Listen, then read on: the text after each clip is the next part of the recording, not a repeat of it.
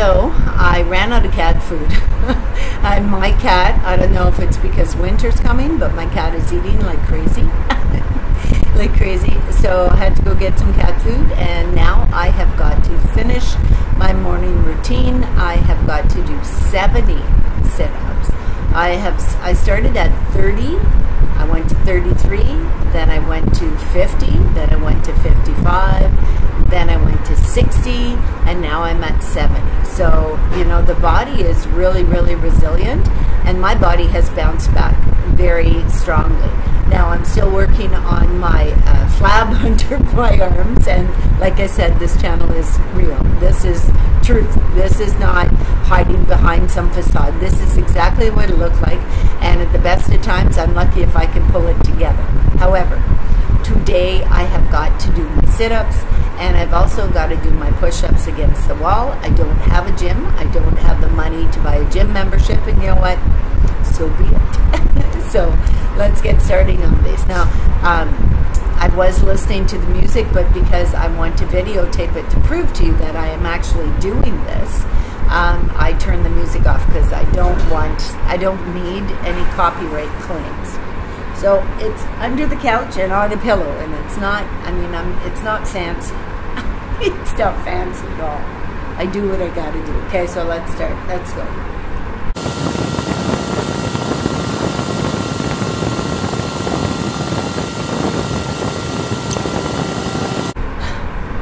70. You put your mind to it, you can do almost anything. So, 70, 70 sit ups.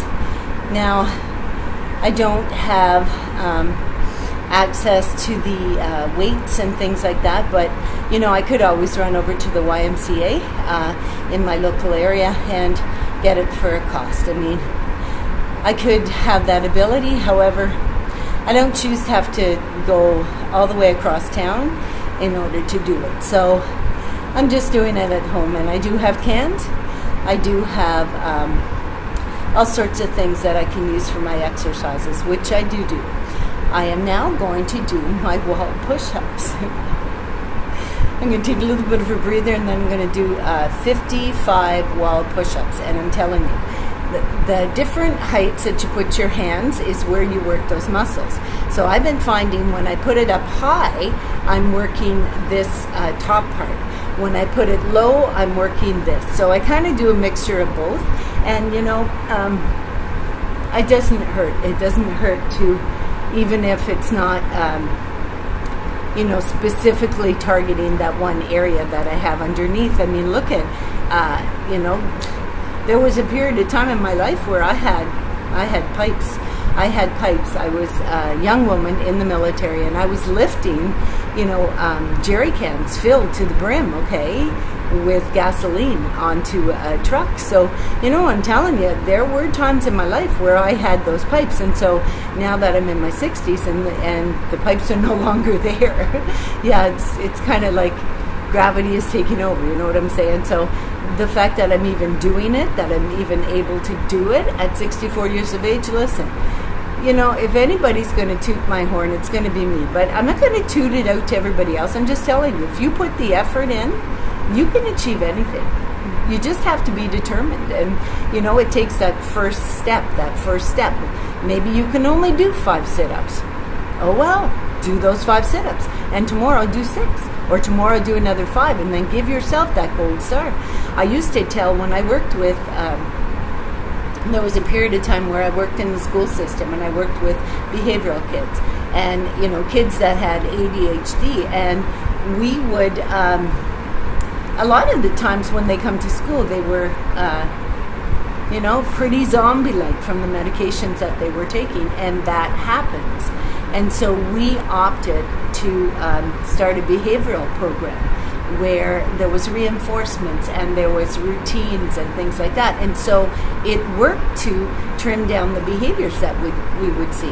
And to be honest with you, if we kept their minds occupied and uh, their diets on, on the proper level and eliminated the sugar, we didn't have a lot of problems with the kids that I taught. We didn't have a lot of those problems. And so um, you know, I kind of see that you keep the mind active, you keep the body active, and everything else going to fall into place. And with me, uh, when I started this exercise routine, okay, I could only do, I think I started out with, um, I think I pushed myself, but I think when I first did it, I did five yeah, I did five.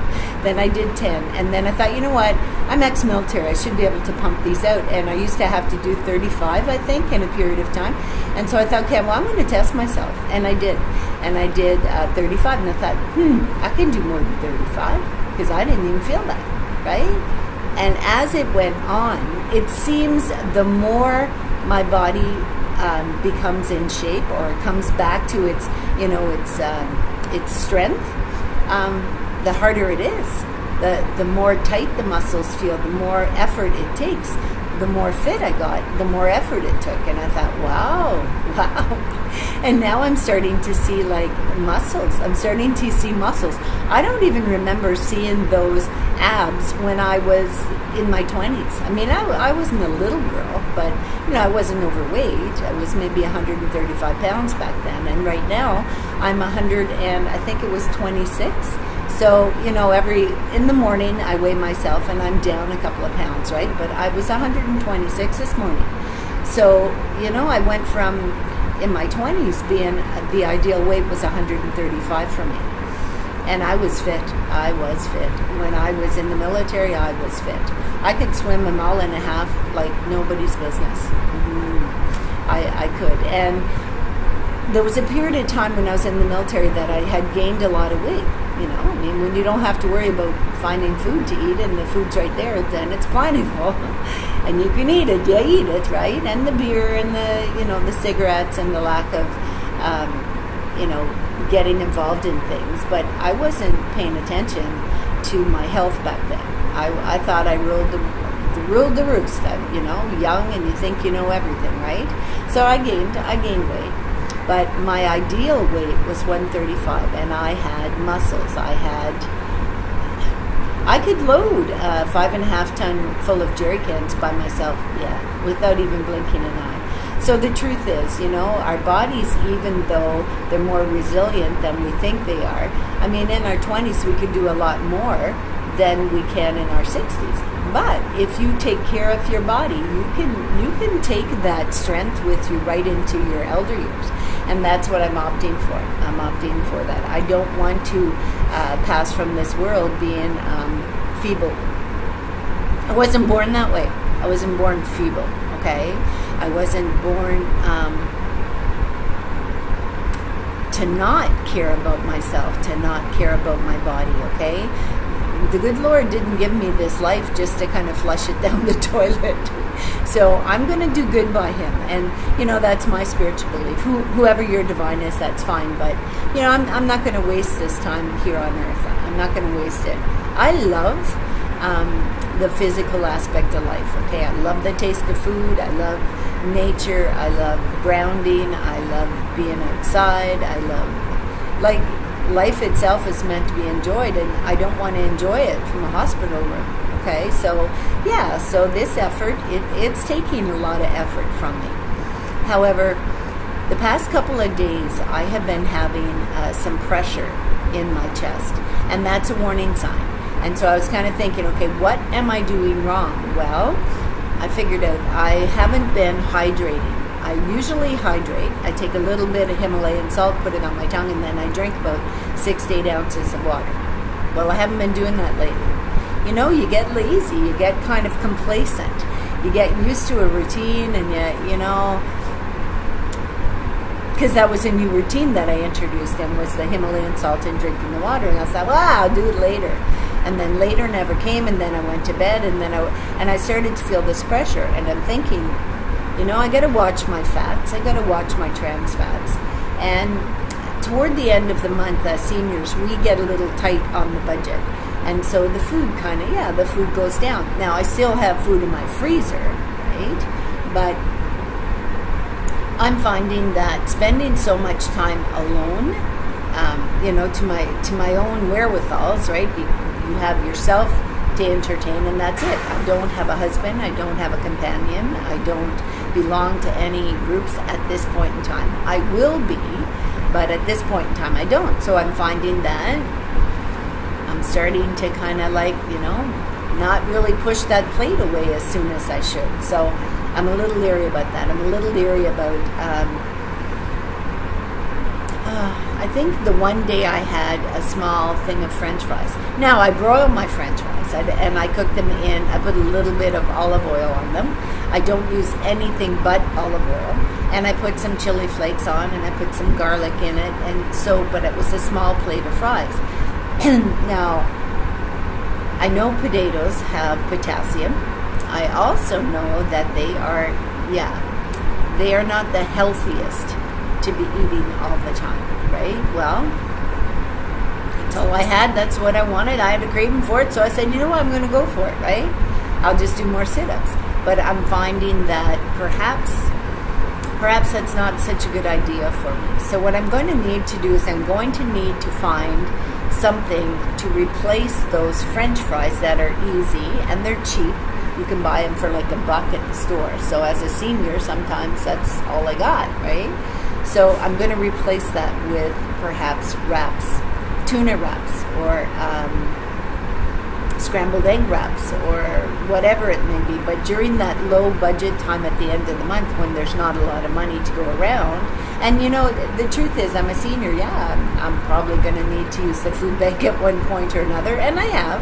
I have. That's what it's there for, right? And I've con- contributed to it also. I have, uh, you know, done community initiatives where we would go and we would, um, you know, get the funds and buy the food and take it to the food bank. Uh-huh. Many times, many times, many times when my kids were younger, I did a community initiative. And, you know, I'm putting this out there. So I'm kind of saying to you, if you have children, maybe you could do it. You could do it. And what I did is, me and my children, I have three kids, we got together in our neighborhood. And we got a whole bunch of the neighborhood kids together. They came to my place. I solicited uh, businesses uh, to get them to donate um, the products that we would need to make bread and cookies and twisters and things like that. Not the healthiest, but it'll sustain you. And so I taught the neighborhood kids how to make homemade bread from scratch with only flour, yeast, and water. Nothing else. No sugar added, no nothing. And we made boxes and boxes and boxes of homemade bread um, and cookies and twisters and all sorts of things and donated it to the food bank. Mm. So, you know, you sustain yourself by whatever method you can. So there is a period of time where I know I'm probably going to need to use the food bank. I don't go very often because you don't get, um, like, I am choosing to eat healthy, and so you get food that sustains you, but you don't get food that is necessarily always the healthiest, right? Because I mean, it's it's given in bulk, and it's usually canned goods. Mm-hmm. So. Um, yeah, so the, and there are times there are times that I'll need to use it, but lately I I don't have means to get down there to get anything, and so you live with what you got. And you know what? I'm not dying. I, I'm not starving. I'm doing fine. Grocery wise, like I said, it just doesn't matter who you are at the end of the month, senior or you know a work the working uh, poor. Okay, doesn't matter.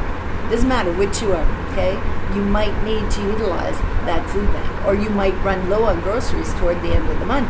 So being self sustaining and being able to make your own bread and have sandwiches. Make your own bread and buy a, a dozen eggs and make yourself some scrambled egg sandwiches or, you know, um, egg salad sandwiches, okay? But anything is better than starving, right? Sustaining yourself. So learning those skills and I taught my children those skills when they were they were little. My my kids could bake bread when they were like four or five years old. Mm-hmm. I also um, have taught my grandchildren how to bake bread. My grandchildren know how to bake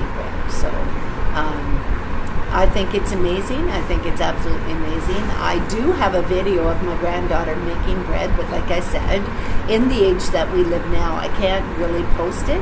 I would need the parents' uh, permission and it's not always a good thing to post uh, pictures of children. I, I just I don't choose to do it. But every one of my grandkids knows how to bake bread, and I did teach it to them. So I think that's good. All my kids do. Um, now, the reason this kind of went off track is because toward the end of the month, money gets tight, and I have a cat.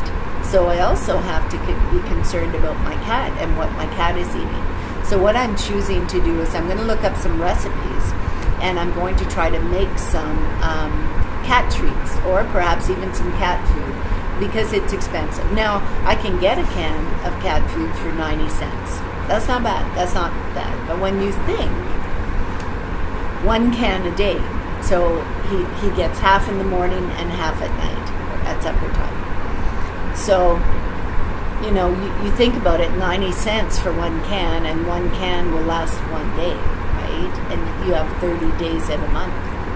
I have to budget it in. And I do give my can one my cat one can of tuna as a treat on Sundays.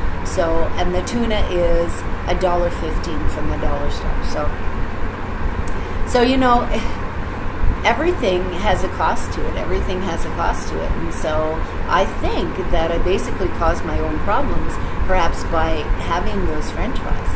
I'm not really sure because I do use olive oil, but potatoes um, I just I can't put my finger on it what what caused the problem, but I was having um, uh, a tightness, and that's concern. That's a concern because that is heart issues, and I have dealt with heart issues for the past eight years. So I think I just need to hydrate more.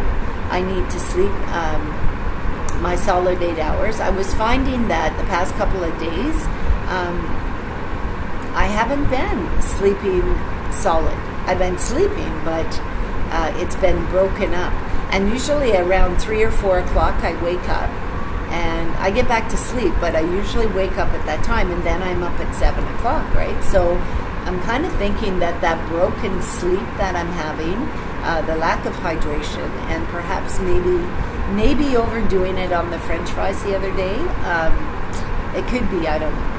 I used olive oil and I broiled them, so it's not like I deep fried them in grease, right? Just a, a tad of uh, extra virgin olive oil. So anyway, and I am drinking my cayenne and water every day. Lately, I've been finding that I've been drinking it a lot more because of that heaviness in my chest. So, you know, um, I will not take an aspirin. I will not take an aspirin at all I choose not to. I use the cayenne instead. And the cayenne is right there, right right close to me. So right now I am going to move my dream catcher and I am going to do my wall push-ups.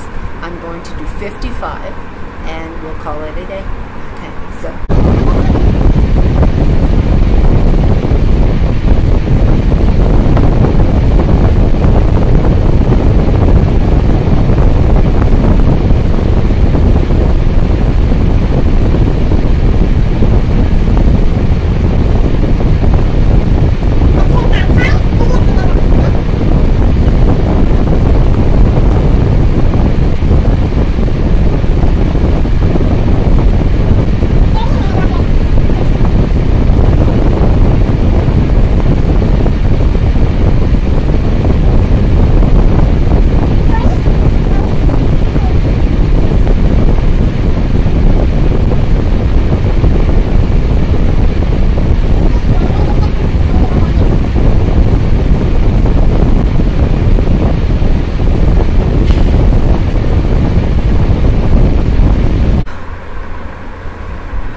So I've done my 55 um, or my 60. I did 60 uh, wall push-ups. I do them high, then medium, and then low.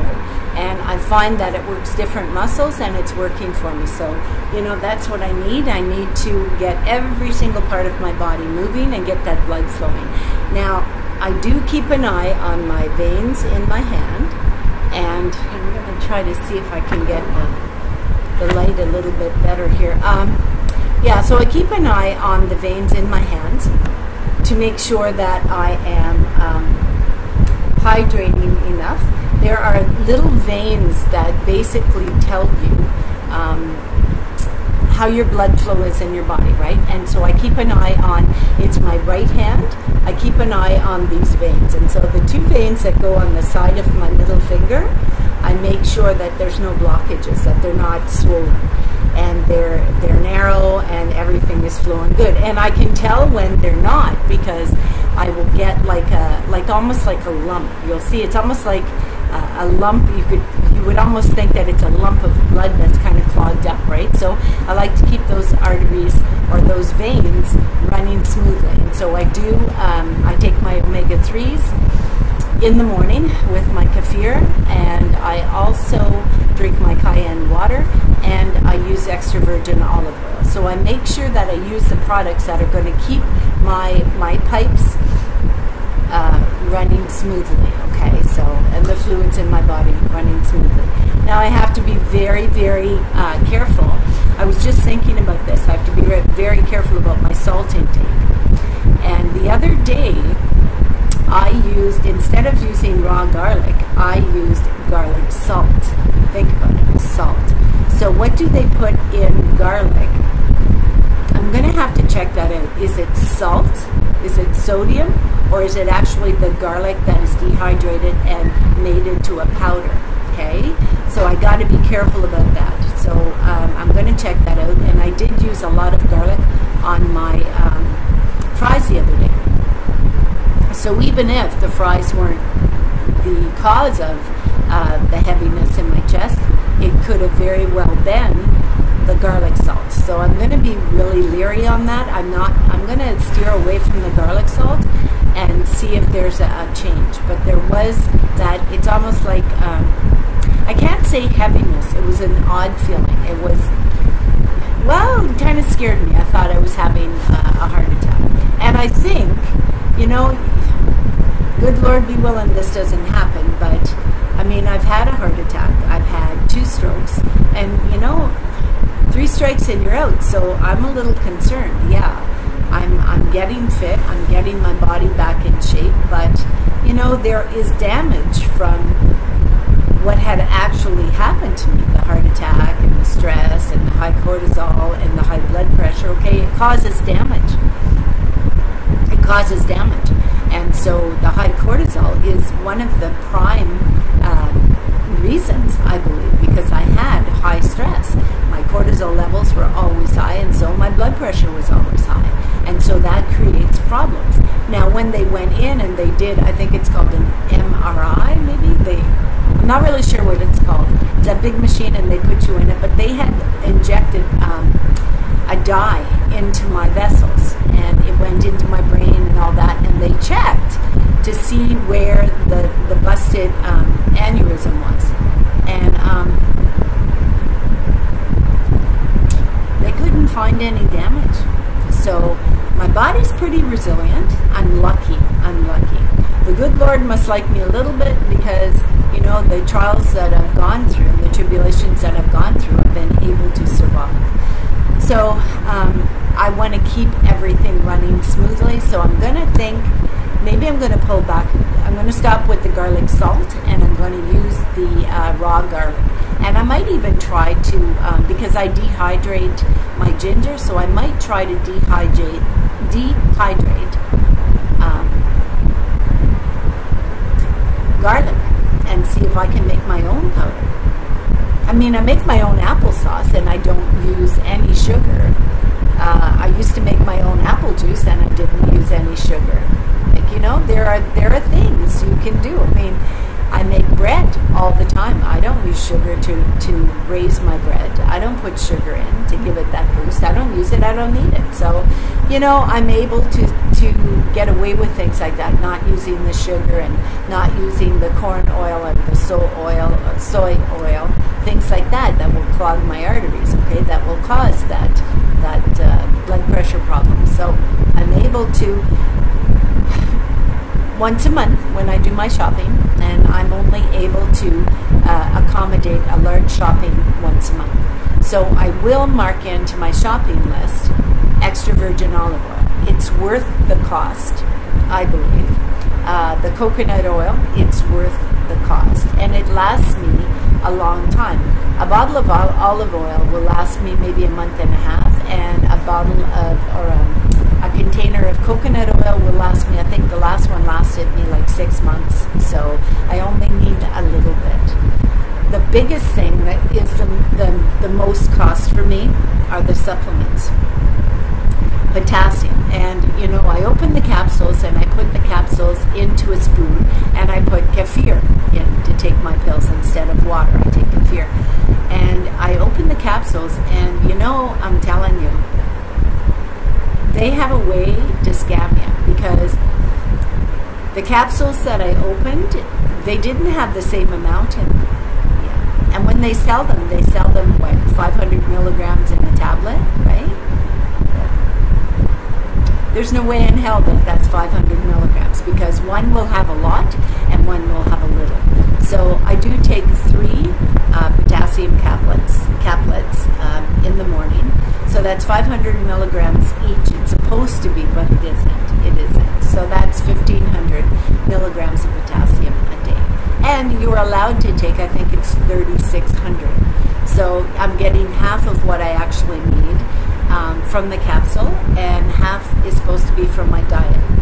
Sometimes it is, and sometimes it isn't. So I have to adjust for that as I'm going through the day. But anyway, this is about my exercise routine and, you know, um, the fact that lately I've been having some problems with my uh, my chest, with the heaviness in my chest. Now, it could very well be just be from something that I'm eating. Okay, it could be, I mean, indigestion. It doesn't have to be my heart. It could be indigestion. But I'm very uh, careful, very careful. I keep my bottle of cayenne water very close. And I have the lid on the top of it loosely so that I can open it very quickly and take a swig if I need. So, anyway, uh, there you have it 70 sit ups and 60 push ups. I'm moving up. I'm moving on up. I'll see you in the next video. The good Lord be willing. Bye.